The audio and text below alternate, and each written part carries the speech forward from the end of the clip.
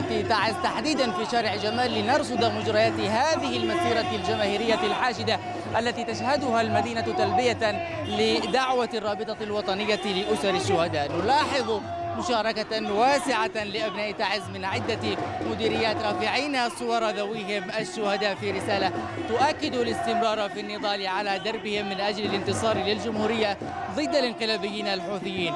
يرفع المشاركون في المسيرة كما هو ملاحظ لافتات يؤكدون فيها مطالبتهم للحكومة بدعم الأجهزة العسكرية في المحافظة لاستكمال التحرير وكذلك دعم الأجهزة الأمنية لتثبيت الأمن والاستقرار داخل المربعات المحررة وتوفير الخدمات العلاجية لجرحى الحرب وإقالة كل الفاسدين في القطاع العام.